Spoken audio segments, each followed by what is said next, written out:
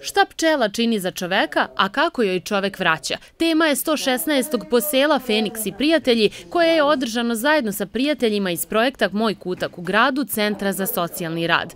Uvek rado viđeni gosti su bili najstariji aktivni pčelar u Staroj Pazovi Živko Gorjanović, kao i njegova učenica Ljiljana Bosanac, koji pokušavaju da ukažu na značaj veoma malih, ali čudotvornih bića pčela. Ja sam zaista početnik, ove godine smo u moje dvorište su ove godine prvi put ušle košnice. Cela priča je interesantna i korisna i lepa i u službi je, da kažem, zdravlja e, čoveka i ljudi uopšte. Eto, samo sa tog, e, pošto sam skoro otišla u penziju, imam više slobodnog vremena. Pčela radi sve za čoveka. To je prosto jedno čudo prirode, a svi je napadaju. Od čoveka, medveda pa do laste, ptice pčelarice, ovaj, mravi, ose, svi idu na pčelu.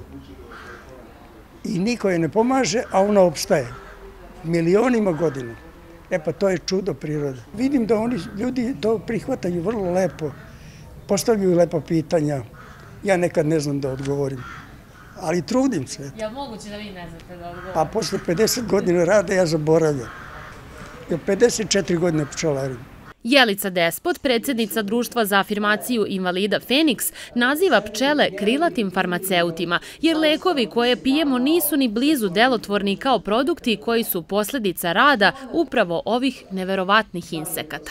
Pčela stvara prirodu, cvet, e, voćku, sve ona stvara. Naravno, gospod je stvorio, ali ona prenosi te nektare, ona polene prenosi. I zamislite mi kako se odnosimo prema njoj. Prskamo. Šta mi radimo za pčelu da bi ona nama davala ono što je najbolje što postoji. Ma nema leka. Nema leka kao što je med. Pčele i njihovo dobročinstvo za sve nas su nepresušna tema i upravo zato su ovakva druženja lekovita, edukativna i preko potrebna u današnjem vremenu izopačenih vrednosti.